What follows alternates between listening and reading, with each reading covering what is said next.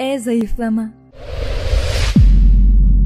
Yaşlandıkça bel çevresinde genişleme gözükür çünkü vücudun hormonal dengesi değişmektedir. Bayanlarda 40 yaş sonrasında östrojen hormonu azaldıkça yağlanma bacak ve basen bölgesinden bel bölgesine doğru ilerler. Bu yağlanmayı engellemenin en güzel yolu düzenli bir spor programı ve beslenme programını hayatınıza geçirmenizdir.